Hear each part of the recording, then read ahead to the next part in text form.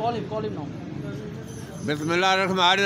ये धन क्रिकेट मेला और ये नाइट गाला की ये तमाम तैयारियाँ मुकम्मल हो चुकी हैं और ये अभी थोड़ी देर बाद ये आपने देखा इधर ये लाइन लिटन क्लब इंग्लिस्तान की टीम अभी इधर ओशन केबल हेडकोार्टर इधर पहुँची है तो खुरम अब्बासी टोनी इधर हमारे दरमियान मौजूद हैं जो इस सारे प्रोग्राम के रूए रुआ हैं।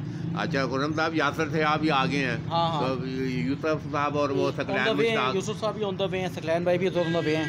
तो वो भी अतौर रहमान भी पहुँच गए हैं हाँ, तकरीबन ठीक। अतौर रहमान आ ऊपर अब हाँ, बारह तो- बीच में कोई हाँ, हैं, पहुँचे। तो बस इंशाल्लाह सब इकट्ठे फिर यहाँ से निकलते हैं तो ये चकवाल की तारीख में ये पहला बड़ा पहला बड़ा का मैच है। होपफुली के बड़ा ही पहला तो वो वो वो जो आपका ख्वाब है कि यहाँ के बच्चे भी लाड में खेलें ये आज आज उसका आगाज़ हो रहा है। बॉलिंग मशीनें आ गई हैं चकवाल की तारीख में पहली दफ़ा। आज उनकी ओपनिंग है बॉलिंग एक्चुअली एकेडमी की ओपनिंग है।